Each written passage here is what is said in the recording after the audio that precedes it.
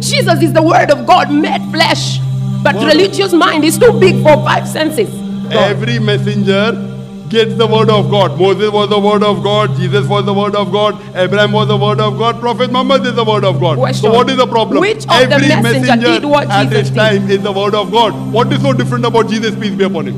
You The cannot difference- point out a single statement from your Bible where Jesus said, "I'm God," or where He says, "Worship me." I have, and now I you're have an putting. answer for that, sir.